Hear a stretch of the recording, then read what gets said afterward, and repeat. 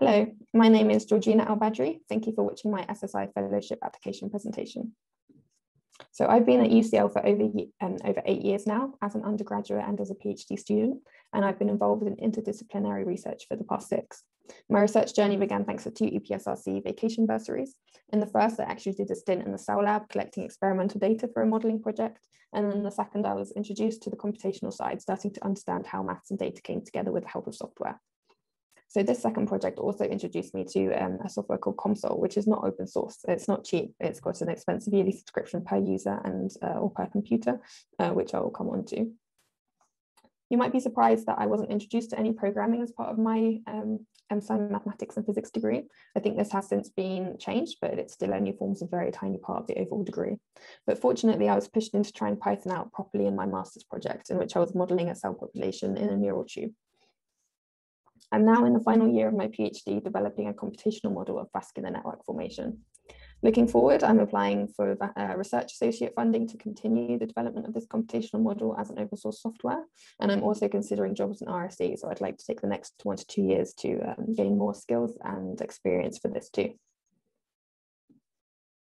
The aims of my PhD project um, which the main is to develop a useful in silico model of in vitro vascular network formation. So essentially takes what happens with some cells in a dish and um, model this uh, in silico.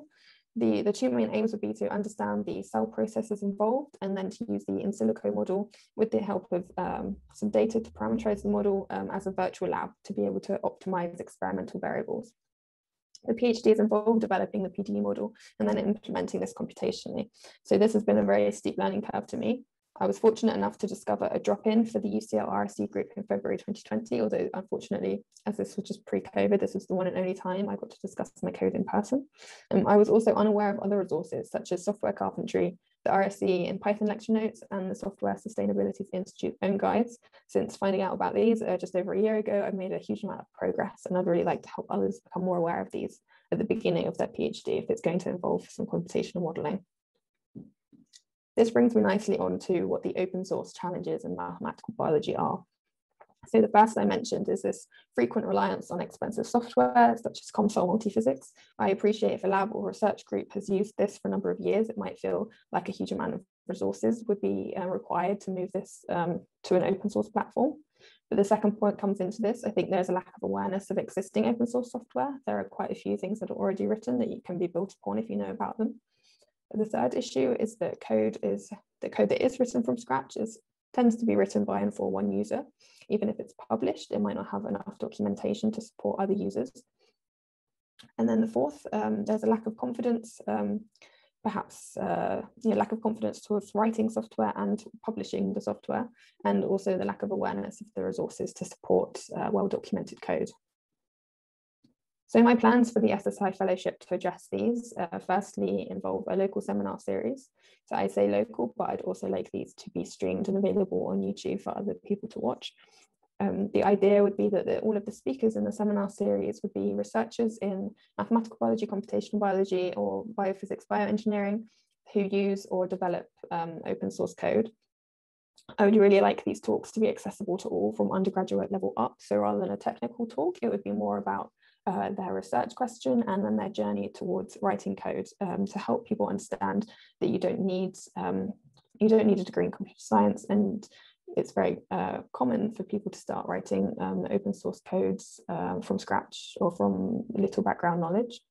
The second aim for this series would be to raise awareness uh, for the, the options and raise awareness for resources available and to create a community united by the interest in open source and this leads into the final output point is that once you have this community, we can use them to really find out what the common questions and barriers are still in mathematical biology and related areas.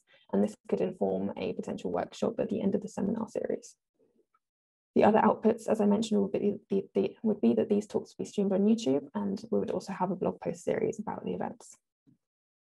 The second part of this would be to propose a mini, symposium at um, a Mathematical Biology International Conference. This would be at the Society for Mathematical Biology July 2023, in which I'd like to propose a mini symposium entitled Open Source Mathematical Biology. So in this, we would have four to five speakers who have been using and developing open source code, similar to the sem seminar, but to reach um, a much larger audience.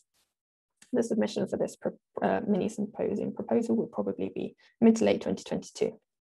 Uh, thirdly, I'd also like to use some of the funding to attend conferences for my own personal development, which are listed here. Uh, so the support the fellowship could give me, um, just the title of SSI Fellow would really support my position as organizer of the seminar series and as co-chair of a possible mini symposium. I would also utilize my department um, for support and senior academics as uh, they can aid in inviting external speakers and also help disseminate the event details. Finally, the SSI Fellowship would also give me funding for event catering, travel for external speakers, and my own travel and conference registration costs for personal development um, at conferences such as RSECon and PyCon if these uh, take place. Thank you.